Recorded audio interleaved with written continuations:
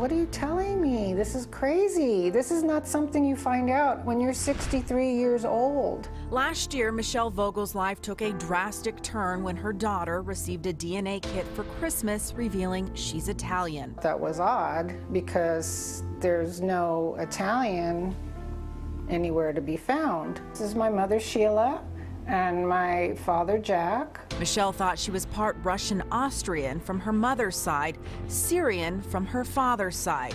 So when she submitted her DNA for analysis, she was shocked to learn she's in fact Italian. It was like somebody dropped a house on my head.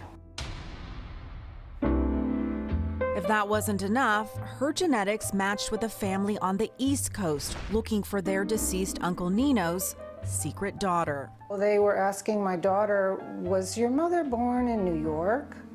Was she born in the 50s? They sent Michelle several photos. The ones of Nino, her pregnant mother, and her older brother validated everything. It says for dad on Father's Day. There were also greeting cards.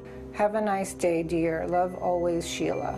The relationship remains a mystery because Nino and her parents passed away years ago. And I think that's what bothers me the most is not knowing. And that's why she sought out comfort on DNA NPE Friends, a private, invitation only support group on Facebook for people like herself who are not parent expected. How is that possible? I'm a half sibling. I've dug back into my father's family to the 1400s. My, my, and now you're telling me he's not my biological father. Barbara Thomas and Debbie Apple can relate to Michelle's shock and sorrow. They too grieve the fathers they never got to meet. I'll never know his voice. I'll never see him. I'll never give him a hug. The online support is always there, but these members also meet in person to listen and help each other heal.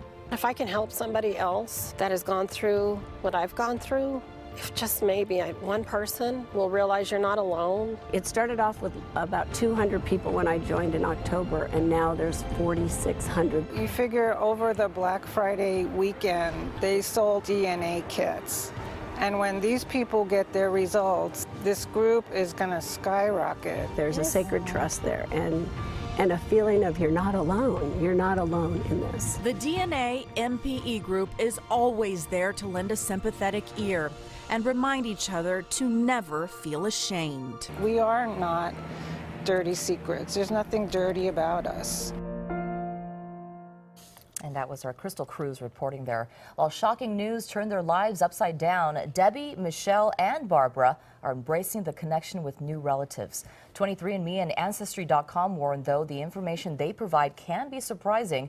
They do provide customer care, but it's not therapy. It's also important to note when you do take a DNA test, you can opt out from matching with genetic relatives. But then again, you cannot control your sibling or child, for example, from taking their own test and uncovering a secret.